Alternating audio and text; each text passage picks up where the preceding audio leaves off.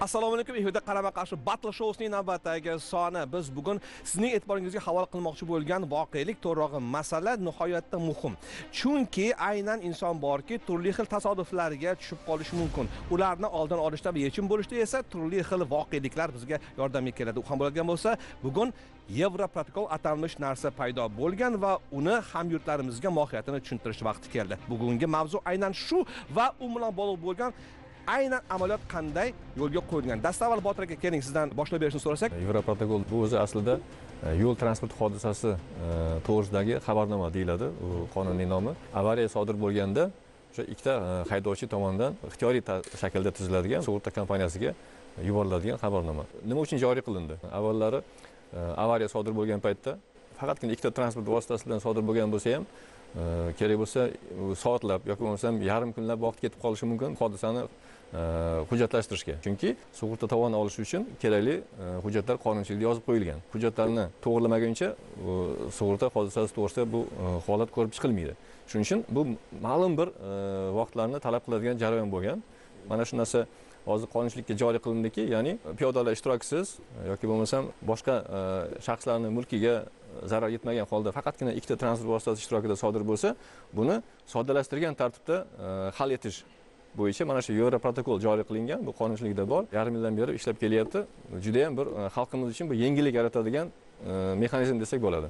Endi e, rasmiy vakilga murojaat qilamiz. Bugungi kunda yevroprotokolga murojaat qilayotgan dtp ishtirokchilari ya'ni kim yo'l transport hodisasi aynan ham jabrlanuvchi ham shikast yetkazuvchilar ko'pmi? Soni qancha? Joriy etilgandan beri bir yil davomida uch mingdan oshib ketgan uch yarim mingcha rasmiylashtirilgan.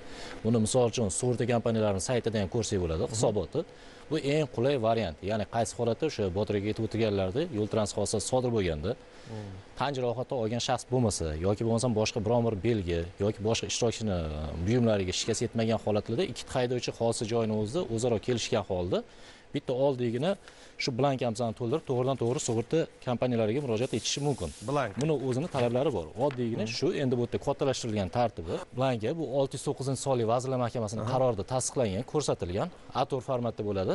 Rangli ham emas u oddiy holatda. Shuni bu yerda buni to'ldirishni qiyin joyi ham yo'q. O'sha ishlab chiqilganda ham boshqa joyda ham fuqarolarga qulay bo'lishi uchun haydovchilarga qulay savollar oson berilgan ekanda faqat savol javob bu yerda. Shuni savol javoblarni hammasini to'ldiradi. O'sha yerda kichkinagina chizmachasi bor kim qaysi tomondan chiqqanligi ko'rsatib o'tiladi. Orqa tomonda izohi bor. Belgi to'ldirish tartibi ham ko'rsatilgan. Qaysi holatda to'ldiriladi qaysi holatda to'ldirilmaydi. Orqasiga yozib ham qo'yilgan bu narsa hech muammo joyi yo'q. Bu nima bo'ladi? Hozirgi paytda misol uchun yo'l transport hodisasiga uchragan odam agar ichki ishlar idoralarini chaqirib buni rasmiylashtirib umumiy tartibda ko'rib chiqadigan bo'lsa misol uchun e, surishtiruv bo'limlari tomonidan o'zini muddati bor. Keyin sud jarayonlari bor. Bunga bir oy ikki oy muddat ketib qolishi mumkin bu yevroprotokolda to'ldirgan holatda to'g'ridan to'g'ri sug'urta kompaniyalariga murojaat etish huquqi bor haydovchilarimizni. Muddat kamayadimi bunda? Muddati oradagi bir oy bir yarim oy muddati chiqib ketadi bu. Misol uchun o'sha umumiy tartibda rasmiylashtirilganda tergovga qadar tekshiruv ishlari sud jarayonini ko'rib chiqqandan keyin ularni qarorini olib turib sug'urta kompaniyalariga murojaat qilinadi. Ana o'sha holatda ham o'n besh kunni ichida bular ko'rib chiqib moddiy zarar to'lash yoki to'lamasligi haqida qaror chiqaradi. Bu holatda shu blankani o'zidan to'g'rima to'g'ri boraverish kerak yana shu qulay sharoit shu yerdagi bu yerda o'zaro kelishgan bo'lsa blanka to'ldirilgan bo'lsa jarima jazosi ham qo'llanilmaydi bu hammasi qonun bilan belgilangan ko'rsatib o'tilgan. Shu e, orada juda katta vaqt yutilyapti kelishuv uchun. Endi e, sug'urta kompaniyasi vakiliga yuzlanamiz. Aynan siz rahbarlik qilayotgan nazorat cheklangan jamiyat e, misolda olib ko'ramiz. Ko'p narsalar qisqardi deyapmiz. Ho'p pul qancha bo'lishi kerak? Yetkazilgan shikast miqdori ham e'tiborga olinadimi? Qanday vaziyatda qancha mablag' to'lab beriladi? Hozir bu sug'urta majburiy sug'urta haqida gap ketyapti. Transport vositalari uchinchi shaxs oldidagi majburiy sug'urtasi bu yerda vazirlar mahkamasini bir yuz qirq birinchi sonli qarori bilan e, pul miqdori belgilab qo'yilgan. Ya'ni jami qirq million. Qirq million bu yigirma olti millioni transport vositasini ichida bo'lgan yo'lovchilarni sog'lig'iga yetkazilgan zarar. A o'n to'rt million bo'lsa qirq milliondan bu transport vositasini O'ziga. yetkazilgan jismga yetkazilgan pul miqdori belgilangan. Demak o'n to'rt milliondan oshmagan e, holatda e, sug'urta kompaniyalari mana shu mablag'ni to'lab bera oladi to'g'rimi? Undan oshsa nima bo'ladi oshsa misol uchun bu rasmiy hujjatda qonunda ham belgilangan ya'ni ikki ming yigirma birinchi yil yigirma beshinchi avgustda qabul qilingan yetti yuz o'n birinchi sonli qonun bilan bu qonun qabul qilingan. Bundan keyin yigirma oltinchi sentyabrda vazirlar mahkamasini qarori chiqqan qarorga asoslangan holatda qarorda ham ko'rsatib o'tilgan. Misol uchun o'n to'rt milliongachasi bo'lganini bular to'lab beradi sug'urta kompaniyasi. Lekin undan oshib ketsa rasmiy hujjat sifatida buni olib turib fuqarolik tartibida sud idoralariga murojaat qilishi mumkin jabrlanuvchi bemalol bunga misol uchun ichki ishlar idoralariga yuborib surishtiruvni o'tkazishamiz boshqa emas shu rasmiy hujjatni olib turib to'g'ridan to'g'ri fuqarolik tartibda sud idoralariga murojaat qilishi mumkin. Lekin tizmasida misol uchun avvallari e, aynan yo'l harakati xavfsizligi xizmat xodimlariga o'xshab e, misol uchun detallashtirilgan tarzdagi tizma emasku bu? Yo'q. O'shaning uchun bu narsa nima deyilgan? O'zi to'ldirish tartibidan oldin ixtiyoriy ravishda o'zaro nizolarni keltirib chiqmagan holatda rasmiylashtiriladi. Nizosiz hal qilish. Nizosiz hal nizoli bo'ladigan bo'lsa nizo kelib chiqadigan bo'lsa albatta ichki ishlar idoralari chaqirtiriladi bunga hodisa joyida rasmiylashtirib umumiy tartibda ko'rib chiqiladi biz hozir o'zimizda qo'llanyapti deb boshladik lekin keling avvalambor dunyo amaliyoti bilan solishtirib ko'raylik. Bizdagi vaziyat qanday va dunyoda bu e, boradagi ishlar qanday yo'lga qo'yilgan? Xorij amaliyotida aynan sug'urta tizimi sug'urta bozori yevropa protokolga ancha oldin o'ta boshlashgan. G'arbiy yevropa davlatlarida o'tgan asrda elliginchilardan boshlab yevroprotokol tizimi qo'llanib kelinyapti. Ta'kidlash kerak ancha oldinlab ketgan bizga yevroprotokol tizimimizga nisbatan. Э, buni elektronlashtirish juda yam ilg'or. Ya'ni e, hamma sug'urta tashkilotlari bitta platformaga birlashtirilgan yevroprotokol bo'yicha. Haydovchilar o'sha platformadan foydalangan holda o'zini o'sha ma'lumotlarini to'ldirib avtomatik bazadan o'zi platformadan yuborishadi. Bizda ham hozirgi normativ hujjat bo'yicha elektron yuborish bor lekin bu sug'urta tashkilotini o'sha ta'minotga yuklab qo'yilgan. Ya'ni o'sha har bir sug'urta tashkiloti o'zini elektron nimasi bilan qabul qilib olishi kerak lekin yagona elektron baza yo'q bizda. Bu e, yevroprotokol bo'yicha. Muammolardan biri shuda bizda hali yo'q deyapsiz to'g'rimi? Aynan shu sug'urta turi bo'yicha to'lovlarni kafolatlash jamg'armasi bor. Bu o'sha vazirlar mahkamasining bir yuz qirq birinchi sonli qarori bilan bu tashkil bo'lgan ikki ming sakkizinchi yilda. Bu o'sha e, jamg'armani qoshida bu e, aynan shu sug'urta turi bo'yicha yagona axborot tizimi bor. Ya'ni platforma bormi? Platforma bor endi bu e, aynan shu sug'urta tur- turi bo'yicha ishlab kelgan shu kungacha. Endi hozirgi kunda bu yana ham kengaytirilib barcha sug'urta polislari bo'yicha bu e, yagona axborot tizimiga aylantirildi. E, yaqin orada bu ishga tushadi. Bu axborot tizimida barcha sug'urta polislari ro'yxatdan o'tadi va undan tashqari sug'urta hodisalari bo'yicha ham har bitta sug'urta kompaniyasi tomonidan bu yerda ma'lumotlar kiritiladi. Jamg'arma tomonidan mobil ilova ishlab chiqiladi va bu barcha sug'urta kompaniya uchun yagona ishlaydigan o'sha mobil ilova orqali bu e, hali yo'q lekin mobil hozir ishga tushmagan. hozir endi bu ishlab chiqiladi. Ishlab chiqilyapti. Birinchi e, yanvargacha bu narsa joriy qilinadi. Qonunchilikda legitimlik degan tushuncha bor. Ya'ni o'sha ishlab chiqilgan normativ hujjatni qo'y- ishlab chiqilishda maqsad bor. Bizda asosan o'sha yevroprotokolni ishlab chiqishda maqsad inson omilini yiroqlashtirish hamda o'sha taraflarni erkinligi bilan bog'lash lekin yevropada kelishish institutining yana bir tamoyilida Tam- tamoyili bitim desa ham bo'ladi qisqa qilganda lekin yevropa davlatlarida bu narsani juda yam osonlashtirgan bizda o'sha tartiblarni ko'radigan bo'lsak ma'lum bir proseslardan iboratda jarayonlardan o'sha e, guvohnomani to- bo'lish kerak yoki mastlik holatini to'rt soatda aniqlash kerak keyin yana bayonnoma to'ldirish kerak har bir qog'oz hujjatlar ilovalar keltirish kerak. Endi e, shunaqa xorij tajribasini ko'rdim mastlik holatida. Bevosita mastlik holatini e, aniqlashni taraflarni ikkinchi biriga majburiyat sifatida yuklash ya'ni o'sha ikkinchi e, avtomobil hodisasi sodir etilgan vaqtda bir tomon e, agar mastlik holatda bo'lsa uni nimasiga javobgar ikkinchi taraf sifatida yuklash. Ya'ni o'sha e, e, o'sha yevroprotokol tuzish vaqtida ikkinchi taraf mast bo'lgan shaxsni nimasiga javobgar bo'ladi. Ya'ni o'sha vaqtda o'zi harakatni boshqara olmaydi. E, o'sha aslida lekin agar mastlik holati bo'ladigan bo'lsa yevroprotokol tuzish mumkin emas shuning uchun ham yevroprotokolni biz beramiz. Lekin o'sha taraflarni majburiyatga yuklasak biz boyagi yana ham byurokratik nimani yo'qotgan bo'larmiz amaliyotni. Endi sug'urta e, bozor ishtirokchilari aynan mana shu kabi e, qulayliklar joriy etilayotganligidan doimo ham xabardor bo'lyaptilarmi? Hamma avtomobil haydovchilar aslida nima huquq va majburiyat borligini birdek biladilarmi sug'urta kompaniyalari butun o'zbekiston bo'yicha e, filiallari mavjud va shu bu polislarni sotishda e, agentlar va boshqa sotuv bo'limlari e, bu haqida ma'lumot berib boradi. Haqiqatdan ham nima bu polisni nima uchun sotyapti?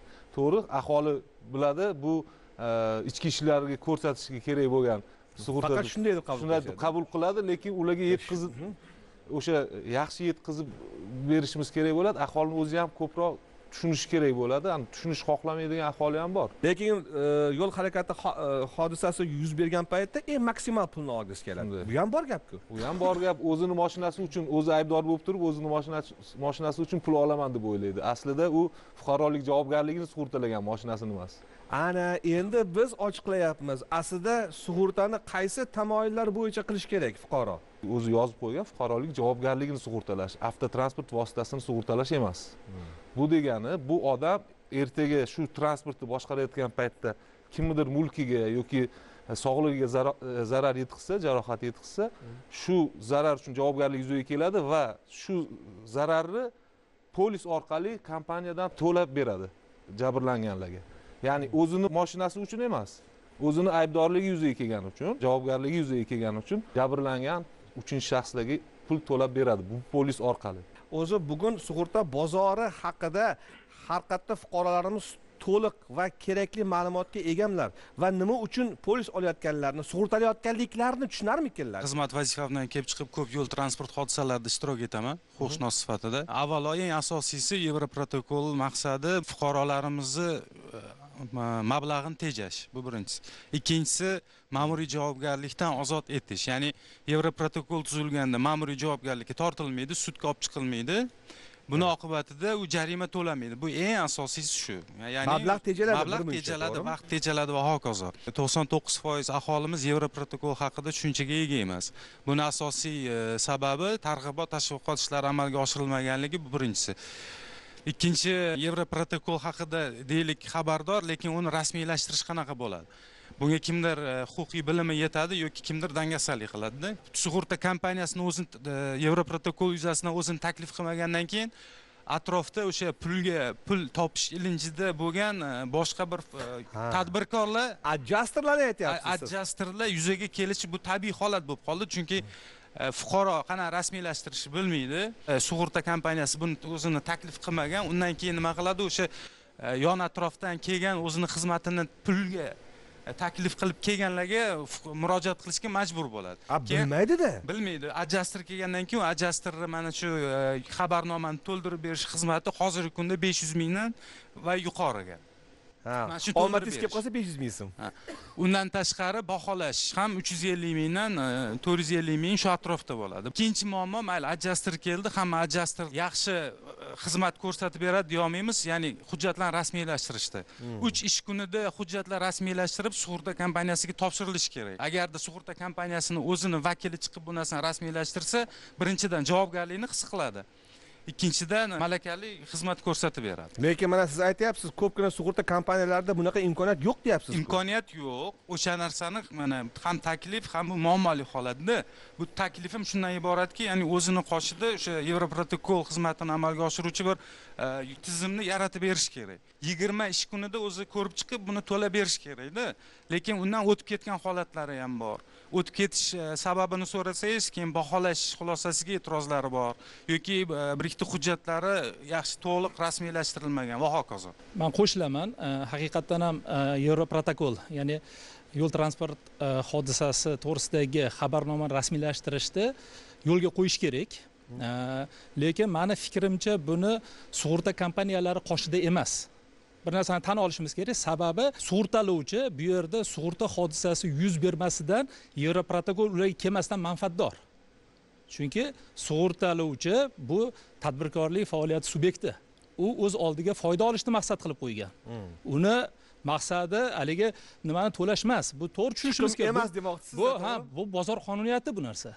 Shuning uchun balki e, mana qonunchilikda ko'rsak e, bu yerda alkogolga test undan tashqari e, ekspertiza o'tkazilsa va kerakli hujjatlar taqdim etilsa to'lab beriladi sug'urtalovchi tomonidan va balki shu narsani to'ldirish xizmatlarini ham shunga qo'shish kerak edi qonunchilikka o'zgartirish kiritish bir taklif bo'lsa manimcha yaxshi bo'ladi. Sug'urtalovchiga berib qo'ysak bu narsani qo'pol qilib gapirsak qo'ylarni bo'riga berib qo'ygandek bo'lamiz. Sug'urta kompaniya vakillari nima deb o'ylaysizlar? Marhamat.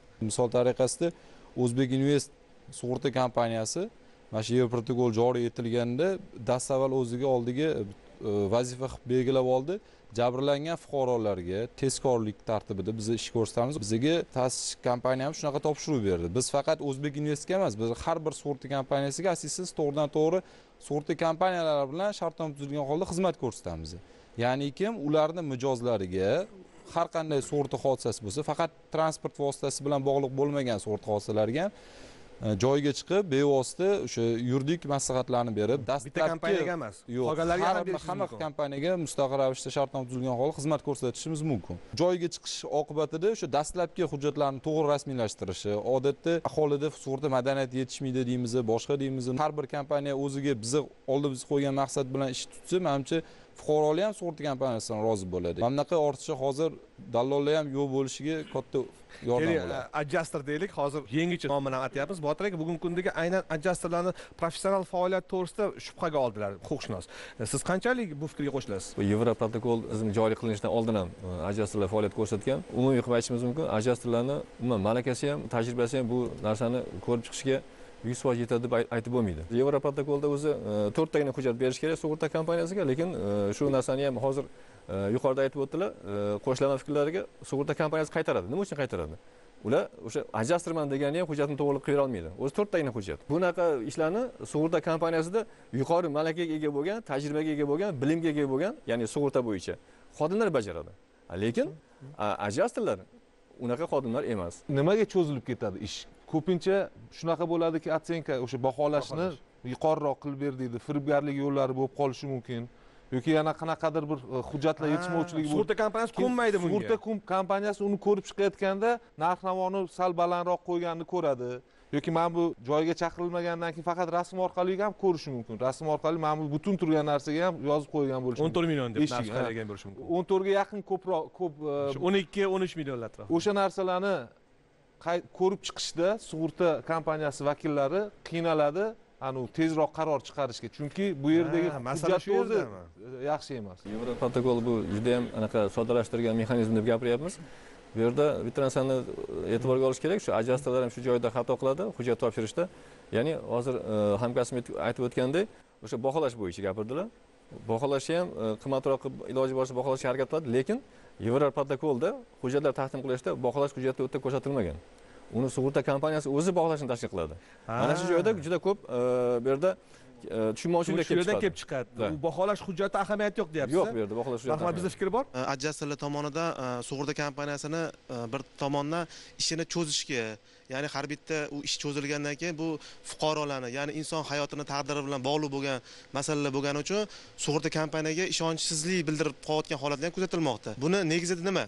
Bunda e, yevro protokolga ya'ni adjusterlar chiqyapti ko'ryapti hujjatlarni tekshirilmayapti u yerda bunda qarashyapti. Sug'urta polisida haydovchini familiya ismi yo'q? Ular elektron sug'urta polisini to'lovlarni kafolat jamg'armasidan tekshirishyapti. Har qayerda sug'urta polisi unda haydovchisi kiritilmagan yo'q. Keyin bular elektron tarzda sug'urta kompaniyasiga sayt orqali hujjatlarni jo'natmoqda va o'sha orqali sug'urta polisidan olmoqda. Olgandan keyin uni hujjatlarni rasmiylashtirish to'rt soatda alkogolniy ekspertizadan o'tadigan soatlar belgilab qo'yilgan o'shanga to'g'irlab turib soatlarni ham yevroprotokol blankasiga qayd qilinmoqda. Bu birinchi holat. Firibgarlik. Deyaptilar. ikkinchi holat hodisa ro'y beryapti. Ro'y berayotgandan keyin ikki tomon hali e, gaiga ya'ni ichki ishlarga telefon qilinmasdan oldin ikkita haydovchi o'zaro kelishishmoqda kelishmoqda. Keyin buni ustidagi mashinalarni transport vositalarini olib borishmoqda. Olib borilgandan keyin bular e, narxlari aybdor tomonga qimmatli qilmoqda. Ya'ni buni cho'mchagiga ziyon. U narsa keyin nizo yana kelib chiqyapti o'rtada. Yana o'rtaga mashinalarni olib kelib qo'yib yana xuddi shu tartibda mashinalarni joylashtirib qo'yib keyin ichki ishlarga telefon qilib shu orqali keyin e, adjusterlar kelib uni yevroprotokoliga tushirtirib rasmiylashtirilmoqda. Shunaqa bo'lyapti hattoki. Endi hozir bu yerda e, muammo faqat adjuster xizmatida emas. Shaxsan mana biz ommaviy axborot vositalarimiz bilan birga kelishib shu haydovchilarga yordam bo'lish maqsadida shu bepul e, yevroprotokol rasmiylashtirish xizmatini tashkil qildik. Mutlaqo bepul. Bu bo'yicha ijtimoiy tarmoqlarda ham o'zimiz e'lonimizni blogosferada bor bu, to'g'rimi? bor. E, man misol e, adjuster yaxshi yo yomon degan fikrdan yiroqman albatta buni qanaqadir moddiy manfaat evaziga haydovchilar bilan kelishib turib faqat shu cho'nchagini o'ylab turib ishlayotgan adjusterlar ham bor. Man buni e, qoralayman lekin muammoni yana ikkinchi tomoni ham bor. Bizada qonunchiligimizda vazirlar mahkamasi tomonidan chiqarilgan bir nechta qarorlar bor. Ana o'sha qarorlarda e, sug'urta kompaniyalari tomonidan o'sha qilingan materialni 15 kun ichida ko'rib chiqib va 5 ish kunida buni to'lab berish e, kerakligi belgilab qo'yilgan. Lekin ba'zi bir sug'urta kompaniyalari tomonidan muntazam ravishda o'nlab yuzlab minglab murojaatchilarni e, qarorga zid ravishda pulini to'lab bermaslik e, oqibatlari ham juda yam ko'p keng jamoatchilik e'tiroziga sabab bo'lmoqda. Bu narsani ijtimoiy tarmog'ga ham olib chiqdik. Bu narsani o'rganish jarayonida sug'urta kompaniyalariga borganimizda ular e, aksari shu adjuster xizmatini noto'g'ri rasmiylashtirilganini muammo qilib ko'rs- ko'rsatib berishmoqda. Lekin bu narsa qarorlarimizda qonunlarimizda belgilab o'tilgan. Lekin sug'urta badalini ham e, o'sha e, manfaatdor tomonga to'lab berish hollari asosiy muammoligicha qolib ketmoqda. Man shuni aytib o'tmoqchi edim marhamat yevroprotokol rasmiylashtirilib sug'urta kompaniyasiga topshirilgandan keyin sug'urta kompaniyasi uch kunida tekshirib ko'rib agarda kamchilik bo'ladigan bo'lsa yo'l harakati xavfsizligi surishtiruv bo'limiga jo'natish kerak. Lekin bu muddat o'tkazib yuboriladi. Ko'p hollarda o'zim boshimdan o'tgan narsa bir oydan keyin bir yarim oy o'tgandan keyin sug'urta kompaniyasi tomonidan yevroprotokol tuzilgan baholash xulosasiga e'tiroz bildirib bir yarim oydan keyin surishtiruv bo'limiga jo'natilgan. Surishtiruv bo'limi qabul qilib olgan buni. Lekin qonun bo'yicha sug'urta to'g'risidagi qonun hamda vazirlar mahkamasini bir yuz qirq birinchi sonli qarorida aniq qilib ko'rsatib qo'yilgan uzoq muddat o'n besh kun. o'n besh kundan o'tgandan keyin bular уже surishtiruv e, bo'limi qabul qilmaslikka haqqi bor chunki nima uchun bu narsa muddat qo'yiladi? Vaqt o'tgandan keyin agar surishtiruvga kelib tushsa ekspertiza qilinishi kerak bu narsa. Holat ancha o'tib ketgan bo'ladi. Jabrlanuvchini guvohi topish kerak aybdorni topish kerak. Bu surishtiruvga ham ancha muncha qiyinchiliklar tug'diradi. O'shaning uchun ham muddat qo'yilgan. Albatta marhamat. Lekin hujjatlarni chala topshirilyapti deyilgan maqsaddan kelib chiqadigan bo'lsak agar otsyenka yuqori qilingan bo'lsa bu o'sha o'n besh ish kuni ichida sug'urta kompaniyalarini ko'rib chiqishga. Shu muddatda qonunda ham yozib qo'yilgan ekspertizalarni o'tkazish agarda baholov ekspertizadan norozi bo'lsa bular o'zlari qaytadan ekspertiza tayyorlash huquqi bor. Misol uchun eng asosiy narsasi misol uchun bu yerda tegishli hujjatlari hammasi mana bu yerda bir yettita sakkizta bandlari bor buni. Eng tegishli hujjatlari transport vositasini boshqarish uchun tegishli bo'lgan hujjatlar hammasi joyida bo'lishi kerak. Buni ichida misol uchun ishonchnoma deymiz. Ishonchnoma talab qilinmaydigan holatlari bundan mustasno degan joylari ham bor. Misol uchun aka ukani orasidagi boshqa er holatlar xotinni qonunda belgilangan bu hamma holatda ham misol uchun qaytarish emas bu misol uchun ichki ishlarga yuborilgandan keyin ichki ishlar idoralariga uch kun muddat berilgan. Uch kun ichida ko'rib chiqiladi surishtiruv bo'limi tomonidan. Agar noto'g'ri tartibda yuborilgan bo'lsa yana sug'urta kompaniyasiga qaytarib yuborish haqqi bor. Lekin bu bilan nima kelib chiqyapti? Fuqarolarni shuncha sarson qilib orcha sarsongarchilikni keltirib chiqaryaptida. Bu o'zi misol uchun boya aytib o'tishdi boshqa takliflarga man qo'shilaman. Qaysi qulay tomonlari. Lekin asosiy maqsad bu orcha sarsongarchilikni oldini olish maqsadida qilingan narsa. Mohiyatan to'g'ri. Haligi oradagi bir yarim oy ikki oyni chiqarib tashlash uchun qilingan narsa bu. Lekin bunaqa murojaat bo'lgan bo'lsa yana o'sha muddatga bu borib yana taqaladi. cho'zilib o'tib sug'urta kompaniyasi bilan ichki ishlar orasida bu o'ynab yuraveradigan bo'lsa u narsa kerak emas. Sug'urta kompaniyalari buni o'rganib chiqqandan keyin bu narsani o'sha qonun buzilish holatlari video yozuvlari yoxud ko'rik mustaqil ekspertizalar natijasida asosida yaqqol namoyon bo'lgandagina ichki ishlarga yuborish huquqi bor bularni. Sug'urta kompaniyasi. Keling sug'urta kompaniyasi vakillariga ham yuzlanaylik birinchi navbatda yevroprotokol rasmiylashtirilayotganda e, o'zini sakkizta qonun talabidan kelib chiqqan holatda e, belgilab qo'yilgan mezonlari bor. Bularni birinchisi o'sha e, hujjatlari joyida bo'lishi mast holatda bo'lmasligi keyin e, bu ishtirokchida piyoda bilan sodir bo'lmaganligi bundan tashqari hujjat e, hujjatlar joyidaligi keyin sug'urta polisida o'sha haydovchisi familiya ismi kiritilgan bo'lishi ya'ni fuqarolik javobgarligi E, yo'l transport hodisasidan oldin sug'urtalangan bo'lishi shu holatlardan kelib chiqib kelgan blankalar bu narsa tekshiriladi. Tekshirilganda agar joyida bo'ladigan bo'lsa o'sha foto videolari ham ko'riladi. Shunaqa vaziyatlar e, bo'lyapti. Aybdorlar o'zi aybdor o'rni almashib qolyapti ya'ni jabrlanuvchi bo'lib qolyapti. Bitta transport vositasi voqea joyida urilyapti. E, to'qnashgan joyida jabrlanuvchi o'zi главный yo'ldan kelayotgan haydovchini qo'yib yuborish kerak. Bu yo'l harakati qoidasida ham bor asosiy yo'l- yo'ldan kelayotgan asosiy yo'ldan kelyapti vositasini qo'yib yuborish kerak. Bu yerda svetofor svetofor yo'q tartibga soluvchi. Demak o'ng qo'l qoidasi shunaqa holatlardan ko'rib chiqilyapti. Uni yo'liga chiqib yon tomon qismlariga urilyapti. O'shanda ha- sug'urta kompaniyasi ishi hujjatlarni qabul qilib turib tergov bo'limiga ham yana o'sha e, o'zini e, qonunda belgilangan e, talablardan kelib chiqib yuborishga haqli. Aybdor tomonniki zarari katta. Jabrdiydaniki kam shunaqa holatda haydovchilar almashyapti. Ya'ni aybdor jabrlanuvchi bo'lyapti jabrlanuvchi aybdor bo'lyapti. O'zaro kelishib bu narsani to'g'irlashyapti. Shunday ham Da, shunday ham bo'lyapti joyida shunday ham Shunday bo'lyapti ham bu narsa sug'urta bu kompaniyani nima uchun kerak? Bitta tarafi misol uchun jabrlanuvchiga ziyon kamroq yetgan bo'lishi mumkin aybdorga ko'proq ziyon yetadi. O'shaning uchun joyini almashib olsa ko'proq pul yechiladi shu maqsadda qilinadi. Lekin uni ko'rikdan o'tkazgan baholovchi tushunadiyu qaysi transport vositasi tushunadi. o'shaning uchun mana mana siz turibsiz. Boya boyagi holatda. mana misol uchun orqadan siz kelib urdi. orqangizdan kelib urdi teskarisi bo'lishi mumkin. U turibdi siz orqamachi yurib kelib urdingiz uni. Haqiqatdan ham muammo bor muammo qachon yechiladi? O'sha sug'urta kompaniyasidan bu e, voqea joyiga chiqilsa o'shanda muammo yechiladida. Ya'ni ular xolis xizmat ko'rsatadi. Ular o'ziga qarshi kelmaydi. Tomondan bu e, qanaqadir mas'ul chiqadigan bo'lsa ularni o'sha boya aytib o'tilgandek ularni bu daromadi bu qancha yo'l transport hodisasi kam bo'lsa ularga shuncha foyda. Mani bir taklifim bor shu adjastr xizmati yoki shu bilan shug'ullanuvchi xoh u yuridik shaxs bo'lsin xoh u jismoniy shaxs bo'lsin shu mana hozir moliya vazirligi huzuridagi sug'urta bozorini rivojlantirish agentligi rahbarlari turishibdi. Shu adjastrlarni tartibga soladigan qanaqadir huquqiy me'yoriy normalar ishlab chiqishmi yoki bir tartibga soluvchi adliya vazirligi yuklayapmiz mana hozir biz toshkentga yuboramiz manimcha maqsadga muvofiq bo'lardi. Ana o'sha asosida xizmat olib borsa va uni nazoratga olinsa ana o'shanda haqqoniy ishlasa to'g'ri aytyaptilar javobgarlik his qilish kerak. javobgarlikni his qilish kerak. Buni o'zi qilishdan maqsad ham ikkita haydovchini tezroq ishini osonlashtirish ya'ni ularga yordam berish. Inson qadri uchun har bir qilingan ish. Agarda shu yo'l transport hodisasi rasmiylashtirilgandan keyin yo'l patrul xizmati inspektori tomonidan o'rnatilgan tartibda baribir sudga chiqadi. Sudga chiqqandan keyin baribir bitta haydovchi aybdor deb topilib jazo chorasi ko'riladi. Nima uchun? Bu orqali xorijning ilg'or tajribasi qo'llandiki odamlarning ishi tezroq bitsin. Xalq e, ana shu o'zi undoq ham moshinasiga shikast yetgan tezroq ta'mirlash kerak yoki o'ziga bir biron bir holat bo'yicha bir har bir odamni o'ziga yarasha rejasi bor. Lekin ana shunday vaziyatda ham ayrim holatlarda yo'q emas. Bu o'z navbatida nimani ko'rishimiz mumkin. E, sug'urta kompaniyalari tomonidan e, ayrim holatlarda bizga ham ko'proq murojaatlar bo'lishadi. Vaqt o'tib ketganligini yoki voqea joyiga ularni chaqirmadik yoki adjastrdan foydalangandan so'ng sug'urta kompaniyasi tomonidan nimaga bizni vakillarimiz chaqirmaysiz deb iddao qilishayotganligini shunday holat yo'q emas. Chunki adjastrlarning hozir so'nggi paytlarda ko'rishingiz mumkin juda ham ko'payib bormoqda. U hech qayerda adjastr bo'lishi taqiqlanmagan va shuning uchun adjastrlarning o'z navbatda voqea joyiga chiqib ana shu holatlarni rasmiylashtirishmoqda. Rasmiylashtirgandan so'ng ular tegishli sug'urta kompaniyasiga borishib ana shu holatni taqdim qilishadi.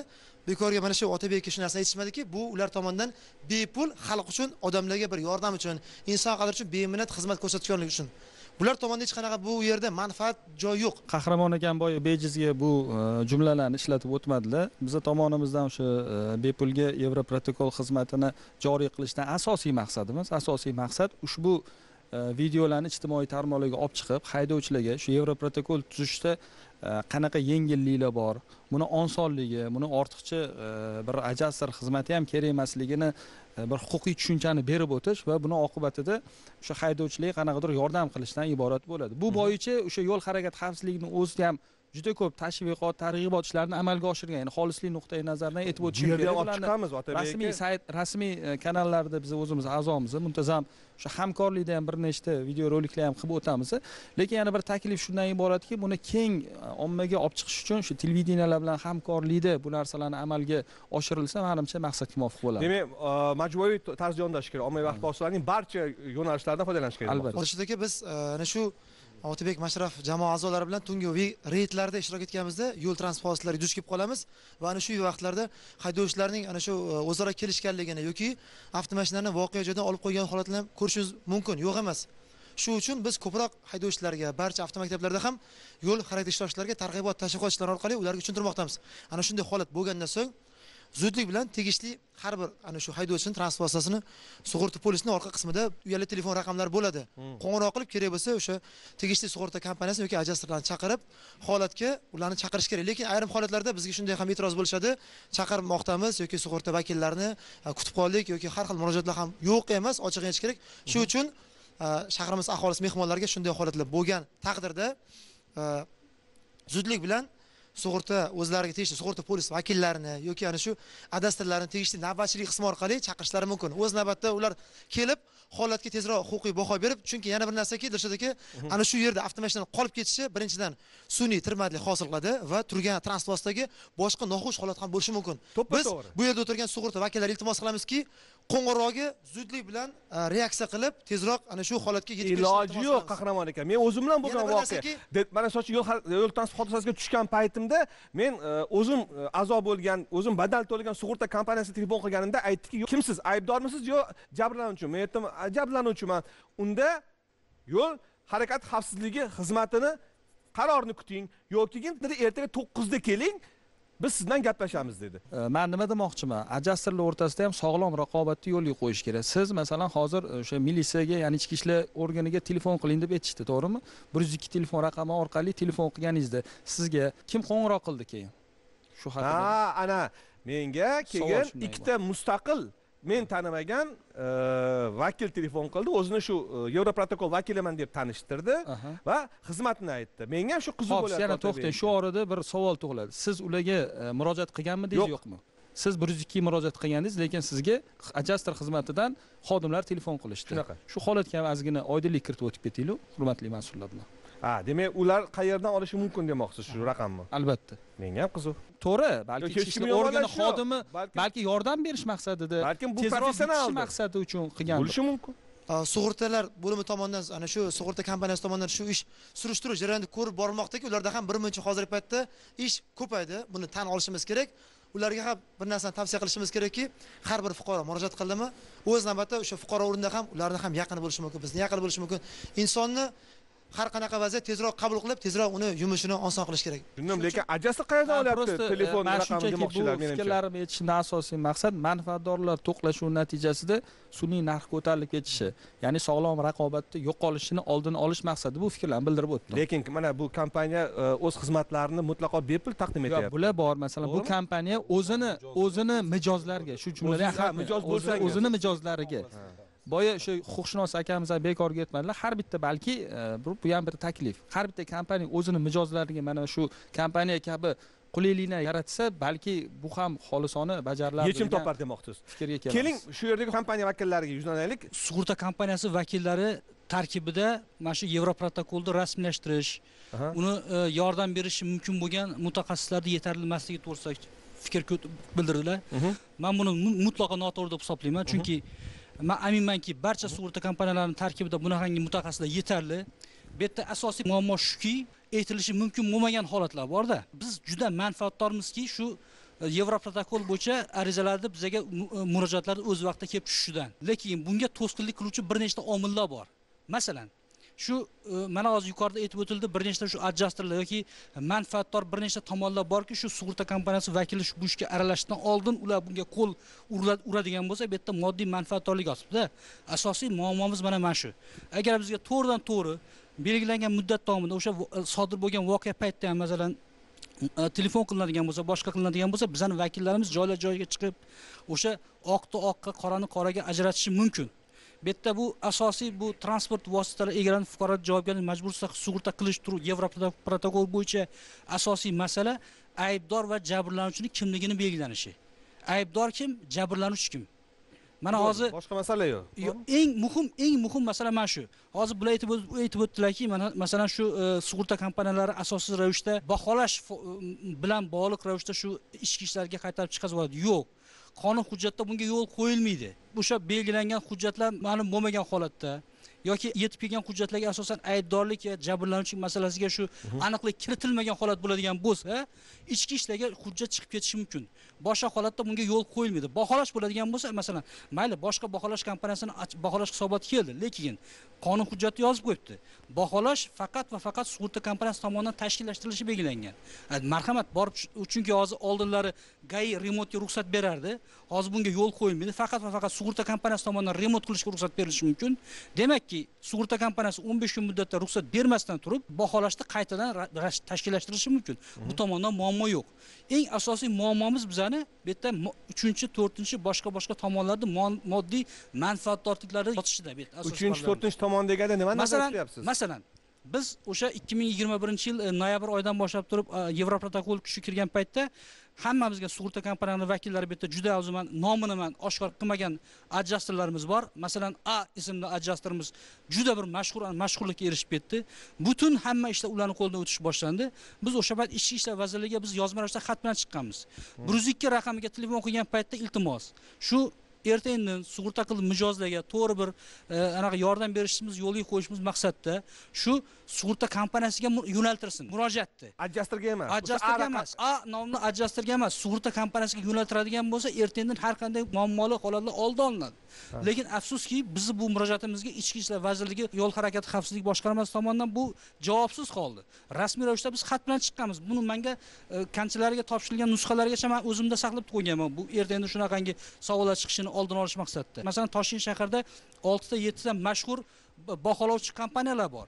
Baholovchi kompaniyalarga biz xat bilan chiqib aytganmiz. Erta indin shu baholash e, summasi bo'yicha sporniy holatda muammoli bahsli holatlarda oldini olish maqsadida o'shaning uchun odamlarni sarson qilmaslik maqsadida ortiqcha xarajatga qo'ymaslik maqsadida baholamanglar iltimos yevroprotokol bo'yicha chunki baholash qonun hujjati bo'yicha sug'urta kompaniyalariga berilgan. Noto'g'ri bu gap. Biz shu biz shunga bu aytgan ixtiyoriy bu ixtiyoriy noto'g'rimi? Dilshod aka man muzaffar aka aytyaptilar hozir mutaxassis yo'qligiga mutlaqo qarshiman deb keling oshkoralik bo'lsin. Mana shu yerda nechta sug'urta kompaniyasi bo'lsa telefon qilamizda yevroprotokol mana shunaqa kela olasizlarmi deb so'raymiz. Birinchidan bularni telefoniga mana nechta alfa invest o'tiribdi o'zbek invest. Man qilaman e, bular tushib o'sha operator ko'targuncha bir yetti minut vaqt ketadi. Ko'pincha holatlarda. Siz aytyapsiz hozir baholash e, faqat sug'urta kompaniyasiga u qonunda unaqa narsa yo'q bu ixtiyoriy narsa. O'shaning uchun ham aytilyapti siz o'zingizni qoshingizda misol uchun buni adliya ham o'tiribdi buni mustahkamlab qo'yish kerak. Zarar yetkazilgan avtoulovni baholash faqatgina o'sha sug'urtalovchi kompaniyaga yuklatilsin degan narsani e, belgilab berish kerak aniq qilib. O'shanda kazus и sporni vaziyatlar yuzaga kelmaydi. Yevroprotokol bo'yicha baholashni sug'urta kompaniya qiladi. O'shaning uchun ham e, yevroprotokol bo'yicha e, yevroprotokol Jabrlanuvchi- ilo- ilova qilinadigan hujjatlarni ichida baholash hujjati yo'q. Lekin shunday bo'lsa ham hozirgi kunda o'sha adjustorlar tomonidan yoki boshqa e, haydovchilar tomonidan baholash hujjatini qo'shib topshiryapti. Ana o'shanda nima uchun bo'lmasam sug'urta kompaniyasi qabul qilib oladi? Nima uchun qabul qilib oladi? Qabul qilmasin man o'zim baholayman desin. Nima uchun qabul qabul qilib oldimi? Demak bu rozi nima uchun qabul qilib olasiz man javob bersam maylimi? Bos, bos, bos. biz biz nima uchun qabul qilib oladi shunga siz javob ber qabul qilmang man o'zim baholayman deng biz mana kuniga bir nechta e, yevroprotokol e, bo'yicha arizalarni qabul qilamiz. Masalan agar u baholash hisoboti belgilangan tartibda hammasi joy joyida bir hech qanaqa savollarsiz qilingan bo'ladigan bo'lsa biz masalan shu kelgan masalan uch yuz ming to'rt yuz ming yoki besh yuz ming so'm pul to'lagan sug'urta qildiruvchini ortiqcha xarajatga qo'ymaslik maqsadida shuni qabul qilib olamiz. Agar agar demak mumkin. er- erta indin iltimos man javob berishga imkoniyat bering. Agar baholash hisobotida hech qanaqa savollar bo'lmaydigan bo'lsa shubhali holatlar bo'lmaydigan bo'lsa biz buni masalan shu oddiy bir e, fuqaroni oddiy bir sug'urta qildiruvchini ortiqcha bir uch yuz ming besh yuz ming so'm xarajatga tushirmaslik maqsadida shu ishni biz qilamiz qabul qilib olamiz. Lekin bizda shunaqangi huquq borki agar o'rnatilgan tartibda shu baholash hisoboti amalga oshirilmagan bo'ladigan bo'lsa biz buni o'zimiz qaytadan baholash tashkillashtirishimiz mumkin. Bunga qonuniy huquqimiz bor. Muzaffar aka bir daqiqa bir daqiqa bir daqiqa. Yana bitta yuristga so'z beraylik. Holatga to'xtalib o'tmoqchiman. Bevosita adjastorlar masalasida gapiryapmiz hozir. E, endi ichki ishlar vazirligi ichki ishlar xodimlarini adjastorga telefon qilishi bu e, e, otabek ham to'g'ri aytib o'tdilar bu noto'g'ri holat. Nimaga? Birinchi navbatda ye- yevroprotokolda tuzilishda birinchi sharti taraflar o'zi erkin rozi bo'lishi kerak ikkinchi sharti aybdordan biri iqror bo'lishi kerak aybiga o'z aybiga. Endi bu yerda e, uchish kunida boyagi baholash xizmatini xohlasa e, boyagi ishtirokchilar o'z tashabbusi bilan chiqishi mumkin xohlasa sug'urta o'zini tashabbusi bilan chiqishi mumkin buni baholash maqsadida. Ya'niki o'sha taraflarni ikkalasini o'zi biz xohlab ya'ni o'sha e, biz borib turib yo'l harakati vositasini boyagi baholashimiz mumkin deb turib o'zlari baholashi mumkin ekspertizani o'tkazib. Lekin buni sug'urtaga olib boradi sug'urta xohlasa o'zini tashabbusi bilan boshqatdan baholatishi mumkin xohlasa o'shani tan olishi mumkin. Endi yana boshqa narsaga to'xtalish kerak. mumkin degan so'zlar Yoki ko'paygan degan so'zi bor. ekspertiza bo'ladi. Man sizga man qarshilik qilmoqchiman. Bu yoqda agarda mana fuqaro olib keldi kompaniyaga baholashi baholovchiga sug'urta kompaniyasi bunga e, e, shubhasi bor. Bu уже ekspertiza bo'ladi. Hadicha sulaymonovada bu o'zini o'zi boshqa baholovchiga baholatmaydi. Hadicha sulaymonovaga ekspertiza tayinlaydi. Hadicha sulaymonova buni qaytadan ekspertizadan o'tkazib baholash xulosasiga o'zini fikrini bildiradi. Bu umuman boshqa holat. Hozir bular adashib ketyapti. Agarda siz baholash sizga tegishli bo'lsa siz qabul qilmangda o'zingiz baholang. Ha juda ham murakkab vaziyat ekan. Doniyor aka? E, e, bunaqa vaziyatda e, fuqaro haydovchi olib kelyaptimi jabrlanuvchi sifatida qabul qilib e, olishga qaytarib yuborishga emas uni hujjatlarini beryaptimi sug'urta kompaniyasi uni qabul qilib olishi kerak. Sababi u uni murojaati. Har bitta murojaat bo'lgandan keyin qabul qilinyaptimi demak u yerda tegishli komissiya a'zolari bor. Komissiya a'zolari uni ko'rib otsenkani demak olti yuz to'qqizinchi e, qaror bo'yicha yevroprotokol qilindimi? Transport vositasi hali remont qilinmagan bo'ladi. Ya'ni turgan bo'ladi. Turgan bo'yicha bu jabrlanuvchiga buni rad qilish emas. Buni o'sha otsenkasi ko'rildimi? Demak u yerda savollar bo'ladigan bo'lsa uch millionlik narsani besh million olti million deb yozib qo'yiladigan bo'lsa sug'urta kompaniyasini o'zini vakolati bor. Bitta e, mustaqil baholash kompaniyasiga uni e, xat orqali taqdim qilib mana shu narsani ko'rib beringlar. Agarda bu narsa hisobot tariqasida keladi buni jabrlanuvchi ortiqcha pul to'lamaydi ya'ni ikkinchi hisobotchi yo'q. yo'q ikkinchi hisobotchi to'lamaydi o'sha uni sug'urta kompaniyasi o'zini oladi zimmasiga. O'sha narsani ko'radi demak bu narsa har qayerda uch millionlik narsani yo'q haqiqatda uch million deydigan bo'lsa mustaqil baholash. Demak sug'urta kompaniyasi e, zakazchi sifatida unga o'sha uch yuz ming yoki to'rt yuz ming xizmat haqqisini to'lov yo'li bilan o'tkazish yo'li bilan boshqatdan отчет qilib olishga haqli. Agarda jabrlanuvchi agar yana bitta narsa to'xtalaman jabrlanuvchida e'tiroz bo'ladigan bo'lsa sug'urta kompaniyalarini o'zini e, to'rtta beshta yoki har bitta hududda ishlaydigan e, ustaxonalari bor. Ya'ni avto ustaxonalar. Sug'urta kompaniyalarniki ham Ha, bormi sug'urta kompaniyalari. birga hamkorlikda ishlaydigan. Ha hamkorlikda ishlaydigan. O'sha chiqadigan summaga uni transport vositasini remont qilib beradi. Bu narsani amaliyotda yo'lga qo'yib qo'yganmiz. Bular aytayotganlarida yevraziya xuddi shu narsani chiqdimi? Demak zakatchi sifatida o'zlari to'langlar misol uchun buni jabrlan aybdorga to'latmanglar yoki jabrlanuvchiga to'latmanglar shuni nazarda tutmoqchiman man mana shu fikrga qo'shimcha qilmoqchi edim. Hozir e, e, ta'mirlab berish masalasi bo'yicha. Afsuski e, xalq tilida asaga ya'ni transport vositalari egalarining fuqarolik javobgarligini majburiy sug'urta qilish sug'urta turi bo'yicha jabrlanuvchiga yetkazilgan mol mulkiga yetkazilgan transport vositasiga yetkazilgan zararni ta'mirlab berish nazarda tutilmagan. Afsuski unaqa qilolmaymiz. Agar ixtiyoriy ravishda sug'urta qilish shartnomasi bo'lganda edi buni amalga oshirish mumkin. Lekin hozir yevroprotokol bo'yicha bu ishni amalga oshirish imkoniyati yo'q. Hamma sohada bo'lgani kabi sug'urta sohasida ham dis- disbalans juda kuchli bir biriga to'g'ri kelmaydigan holatlar juda kuchli. Buni endi yechimlari bo'yicha kurashishimiz kerak hammamizda yechimlari bo'yicha. Endi mana tushunib yetyapman qaysi vaziyatda siz to'lov qilib bera olmasligingizni. Lekin yo'l transport hodisasiga tushgan e, misol uchun haydovchini sizda mana bu sug'urta bu sug'urta bormi deb so'raymaysizku? Yo'q sug'urta qildiruvchi oddiy bir fuqaroga masalan vatandoshga shunaqangi holatga tushgan paytda nima qilishi kerakligi to'g'risida instruksiyalar ko'rsatilishi kerak. Masalan bir yuz ikkiga telefon qilgan paytda bir yuz ikkiga o'tirgan o'sha mas'ul shaxs nima sababdan a ismli adjusterga yo'naltiryapti tabiiyki yerda moddiy manfaatdorlik yotibdi. Mana mana shu bu problemani boshlanish nuqtasi. Agar sug'urta kompaniyasi chiqqanda hamma sug'urta kompaniyalarini ko'pchilikda kol sentrlari bor. U kol kol sentr bo'lmagan taqdirda ham sug'urta kompaniyasini oddiy bir mutaxassisi unga to'g'ri bir yo'l ko'rsatishi mumkin. Sabab? Birinchi navbatda shu muammo shuki har bitta bir oddiy bir sug'urta qildiruvchi sifatida bitta mijoz o'zini huquq va majburiyatlarini ozroq bo'lsa ham bilishi kerak. Yuz foiz bitta odamga har doim hamma narsani o'rgatib chiqib bo'lmaydi. Lekin boshingizga tushmaguncha u narsani bilavermaysizda. To'g'ri to'g'ri. Lekin belgilangan qonun hujjatida sug'urta kompaniyasini vakili joyga chiqib turib yevroprotokolni r- rasmiylashtirishga yordam berishi nazarda tutilmagan. Agarda kimda kim tushunchaga ega bo'lmasa yo'l harakati xavfsizligi xizmati tomonidan ham sug'urta bozorini rivojlantirish agentligi tomonidan ham saytlarimizda buni o'sha to'ldirish tartibi roliklari mavjud. Mana ochishdi o'sha beminnatni boshqada tekinga xizmatga yordam bu ham yaxshi bir tajriba sifatida. Bu yangi qonun ko'proq shug'ullanib o'rganib ketsa fuqarolarimiz bu ularga qulay. Ular uchun qilingan narsa. Bundan tashqari agar imkon bo'lsa sizlardan ham bir so'rardik mana shunaqa roliklarni targ'ibotlarni televizor orqali ko'proq yetkazishlari ham iloji bo'lsa qilib bersanglar yaxshi bo'lardi degan albatta bu xalq uchun bu odamlar uchun manfaatli bo'ladigan vositalarning xodimlari bunga kambasta bo'lib turishlari joiz. Chunki bu yerda eng asosiy masala ham vaqtdan ham naqddan yutush to'g'risida gap ketyapti. Bu tatbiq etilayotgan yangiliklarning asl mohiyati kelib chiqishi kerak. Bu yerda o'rtada turib pulni olish emas masalaga to'g'ri yechim berish va eng asosiysi ta'mirlab yana qaytadan oddiy hayot formulasiga tushirib yuborish. To'g'rimi? To'g'ri. mana shu nuqtai nazarda menimcha hali targ'ibotda juda ko'p ishlar qilishimiz joiz. Ochig'i biz hammamiz gadjetlar planshetlardan foydalanishni yaxshi ko'ramiz to'g'rimi? Kunda eng kamida yigirmata o'ttiz saytga kirib chiqamiz lekin o'z huquqingizni bilish uchun qaysi saytga kirdingiz oxirgi marta qachon o'zingizga lozim bo'lgan huquqiy axborotlarni bir ko'zdan kechirib o'tdingiz. Aslida sizu biz shunga ham mas'ul ekanligimizni unutmasak kifoya. Sog' omon bo'ling biz ham uchrashamiz.